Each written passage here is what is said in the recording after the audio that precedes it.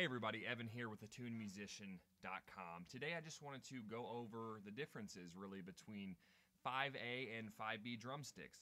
So right here I have a pair of Vic Firths and these are the American Classic 5A.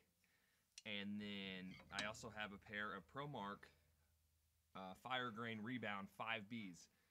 So 5B sticks are thicker than 5A sticks. So depending on your personal drumming style as well as what style of music you are playing will determine the size stick that you'll get. So typically with heavier styles of music or where you need to hit harder and you need to be a heavier hitter, you would go with the 5B drumsticks because they are heavier so you can get more bang for your buck. But the 5A drumsticks, you know, you may want to play with some lighter rock or some jazz. So for A and B drumsticks, B drumsticks are always going to be thicker than A drumsticks.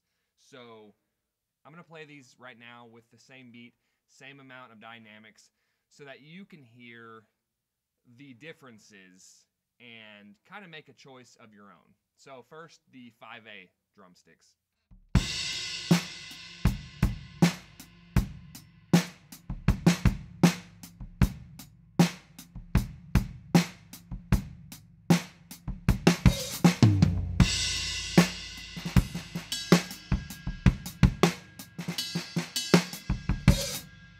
So now we're going to do it with the 5B drumsticks.